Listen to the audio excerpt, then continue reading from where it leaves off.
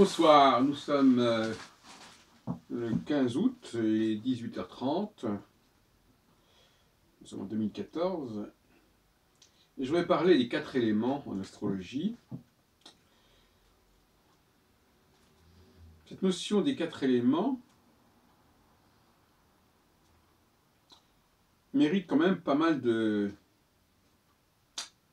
mise au point. Il semble en tout cas que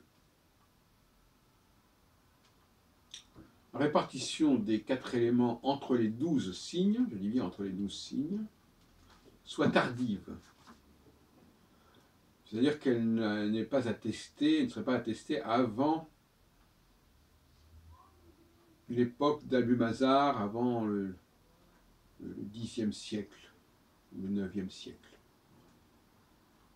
On ne la trouve absolument pas dans la tétrabible de Ptolémée. Il parle certes des triplicités, il parle des rapports entre les signes qui sont répartis selon des trigones.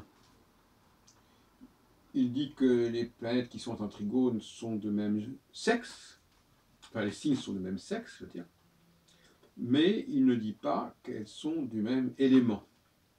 Donc vous avez deux trigones, deux triangles qui, rassemblent des signes masculins et deux triangles qui rassemblent des signes féminins, mais il n'est pas dit à ce moment-là qu'il y a des signes, que les signes masculins sont soit d'air, soit de feu, et que les signes féminins sont soit de terre, soit d'eau. Ça n'est pas dit. Et je crois que ça n'existe pas à ce moment-là. En revanche, quand on fait la genèse du zodiaque, j'en ai parlé dans précédentes causeries, il semble que les quatre, les quatre signes mutables correspondent aux quatre éléments. Mais ce n'est pas la même chose. L'air correspondrait, selon mes recherches, au Sagittaire, signe mutable, parce que la flèche euh, ben, traverse l'air, elle fend l'air, la Vierge correspondrait à la Terre, c'est compréhensible. La Vierge, c'est lié à, à l'épi de, blé, à, à Cérès, aux céréales, à la terre. Les poissons correspondent à l'eau, assez logiquement. Et enfin, les Gémeaux correspondraient au feu à l'opposé du Sagittaire en air. Pourquoi? Parce que les Gémeaux, je ne parle pas, les Gémeaux, c'est le, couple. C'est le couple, c'est l'amour, et euh, ça correspondrait au feu. On dit souvent euh, tout feu, tout flamme, on parle de brûler d'amour. Il y a dans l'amour, euh, il y a une attraction, il y a une aimantation, euh, qui, correspondrait au feu.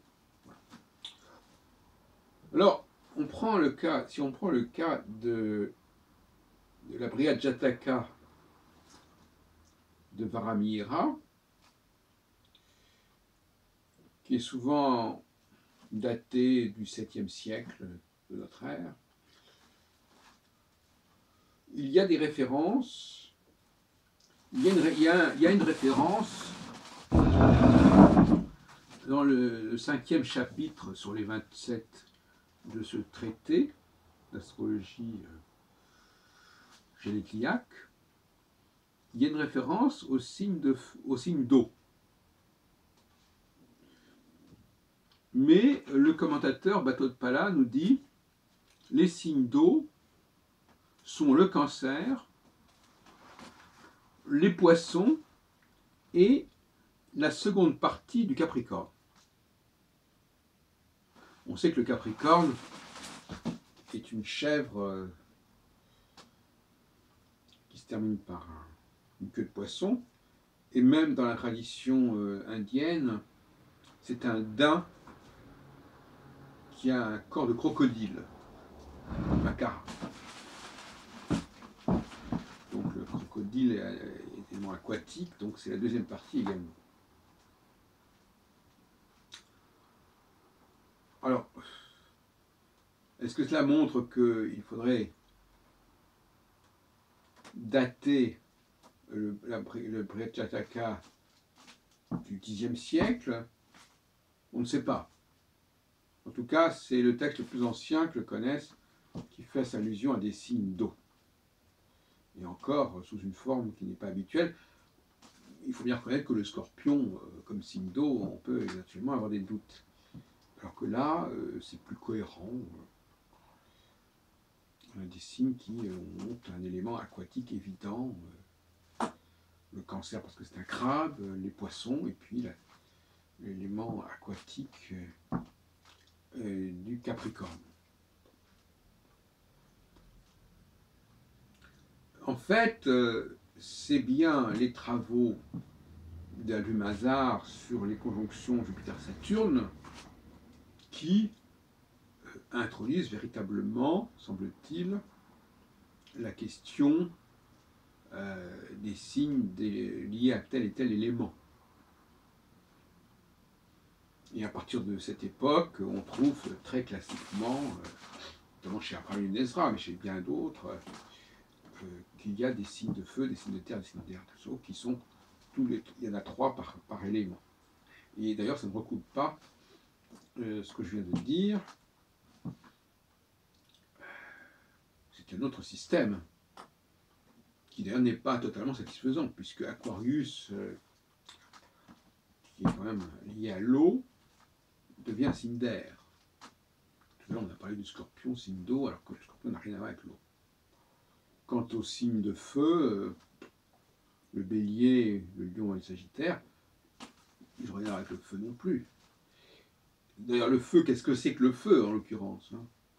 Je viens de le voir avec les gémeaux. Le feu, ça n'est pas, enfin je veux dire au sens littéral du terme, on n'a pas de signe de feu. Euh, ça n'existe pas le feu en fait, du point de vue du symbolisme ici. Les signes d'eau, on comprend.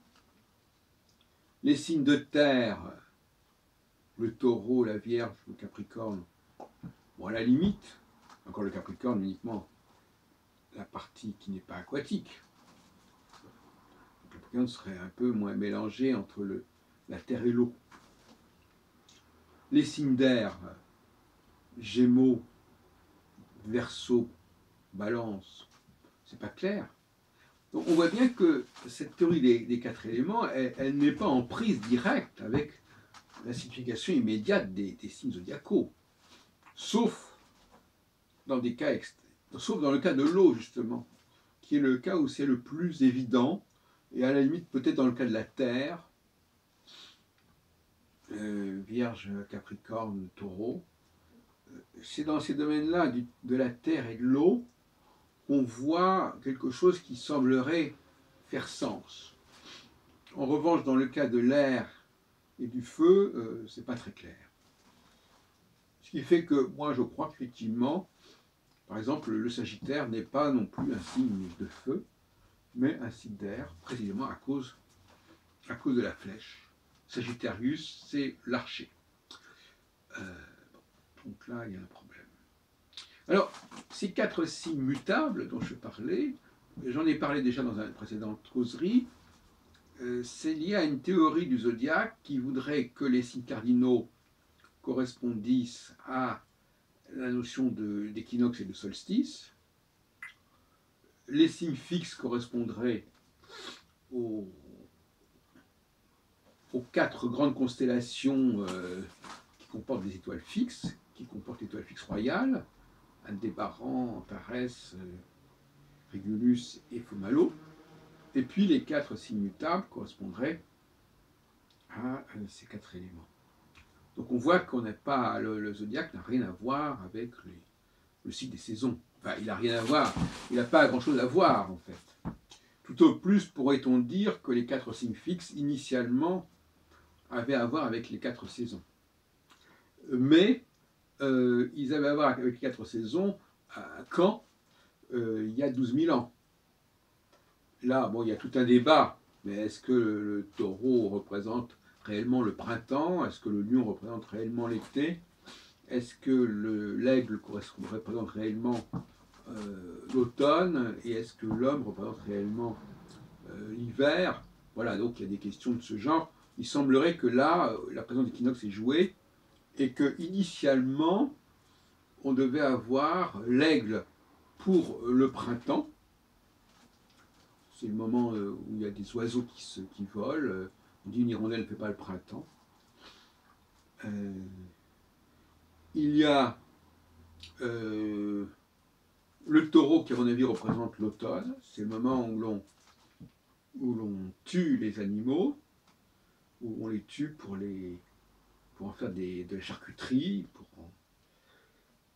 pour les provisions, de, la viande séchée, etc. C'est un animal de sacrifice aussi. Mais euh, donc euh, tout ça n'est pas.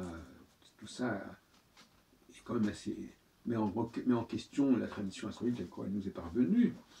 Ah, c'est un, chantier tout ça. Donc euh, il faut bien reconnaître que euh, ce qui est assez amusant, je pense notamment à Jackie et Laïs, mais à beaucoup d'autres, je pense aussi probablement à, à Sant'Agostini, cette volonté de classer euh, de calculer le nombre de planètes qu'il y a dans chacun des quatre éléments, c'est totalement fantaisiste. Euh, alors, d'abord, mais c'est intéressant, parce qu'il y a là une volonté véritablement réductrice, ce qui est au moins une bonne chose par certains côtés. Ça montre bien qu'on essaye quand même de. Euh, le fait de dire, par exemple, que euh, on a, il, y a, il y a même des logiciels qui font ça. Vous avez trois planètes en feu, quatre planètes en, en air, tant de planètes en terre, etc peu importe la planète, peu importe le signe, vous avez comme ça votre signature, tant en terre, tant en feu, tant en air, tant en eau. Euh, là, il y a une volonté de dépasser la problématique de la planète, le nom de la planète même, tout simplement. Pas la peine de tenir compte du nom de la planète, pas la peine de tenir compte du nom du signe. On se contentera des quatre éléments. Et à partir de là, on a, on a un classement euh, selon les quatre éléments euh, qu'on peut reporter aux quatre, euh, aux quatre tempéraments ou à tout ce qu'on voudra. Donc il y a cette tentation, cette tentative de, de classer les, les, thèmes de, naissance d'après d'après cette disposition, d'après cette répartition. D'ailleurs, euh, Albumazar lui-même euh, va vers une certaine simplification de l'astrologie. D'abord parce qu'il met en avant Jupiter Saturne, il laisse de côté les autres planètes, en tout cas dans l'astrologie mondiale. Euh, il dit que les planètes se conjoignent dans tel élément, il ne dit pas dans quel signe, ça n'a pas d'importance. Ce qui est important, c'est que pendant 200 ans après, c'est dans le même élément que les planètes euh, Jupiter-Saturne se retrouvent tous les 20 ans. Donc là encore, euh, à la limite, on ne tient compte ni des planètes, ni du caractère de la planète, ni du caractère du signe. Parce que dire qu'il y a une conjonction Jupiter-Saturne, ça ne veut rien dire. Ça ne veut pas dire qu'il y, a une valeur jupiterienne, une valeur saturne. Il y a simplement Jupiter-Saturne qui constitue un processus euh, de marqueurs. Ça devient des marqueurs. Et sont déchargés de leur dimension mythologique. Ce qui d'ailleurs n'est pas surprenant pour une astrologie euh, arabo-musulmane. Il ne faut pas oublier que le Moyen Âge n'est pas spécialement favorable à la mythologie. Euh, donc euh, c'est normal qu'on dépasse ces facteurs-là, et c'est donc normal aussi qu'on ne tienne pas trop compte non plus des signes zodiacaux au niveau de leur symbolisme, mythologique, légendaire. Donc là on a une astrologie typiquement monothéiste, en quelque sorte, avec Jupiter-Saturne qui incarne une sorte de providence, et qui euh, passe par des signes dont on retiendra que le fait qu'elles sont, qu'ils sont de tel et tel élément. Voilà. Et à ce moment-là, on a, on a des grandes périodes de, 200 ans qui correspondent à des... Chaque fois qu'on change de signe, change d'élément plutôt, eh bien, on a un changement tous les 200 ans, 250 ans, ça dépend des théories, on a un changement majeur de civilisation, même de religion éventuellement, qui est annoncé. Donc ce système-là, extrêmement dépouillé euh, d'Albumazar, fonctionne notamment sur le fait que les signes sont réduits à des, aux quatre éléments. Et que les planètes sont réduites à tout simplement euh, la conjonction Jupiter-Saturne. Donc là, euh, on voit une astrologie qui se démarque euh, profondément de toute la symbolique planétaro-zodiacale. et qui euh, ne tient pas compte non plus d'ailleurs euh, des étoiles fixes, euh, qui ignore qu'il y a déjà une symbolique des quatre éléments au niveau des signes mutables. C'est une astrologie, une nouvelle astrologie, c'est une révolution astrologique qui a lieu aux alentours de l'an 1000, dirons-nous. Hein.